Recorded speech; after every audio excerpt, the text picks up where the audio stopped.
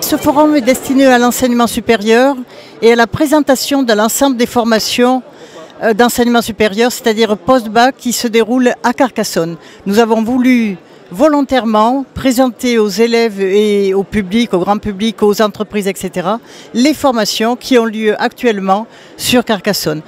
Alors au niveau des stands, il y a trois types de stands. Les stands par établissement qui présentent toutes les formations, mais aussi des stands qui présentent le service que euh, l'étudiant qui viendra à Carcassonne euh, pourra trouver, les services que ce soit du loisir, que ce soit de l'habitation, logement ou autre.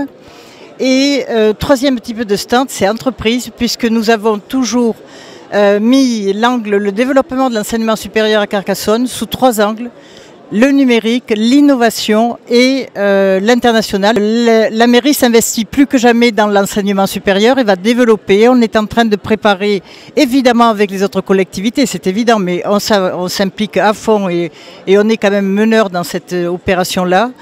Euh, pour euh, faire un schéma local de formation d'enseignement supérieur que je souhaite d'ici la fin de l'année ou au plus tard, au plus tard, d'ici le début de l'année prochaine, je souhaite qu'en effet euh, ce schéma local soit intégré dans le schéma régional de l'enseignement supérieur de la nouvelle région. C'est une opportunité pour nous et je suis persuadée que l'année prochaine, on va pouvoir en effet encore développer et avoir plus, à cette époque-ci, on aura plus de stands, etc.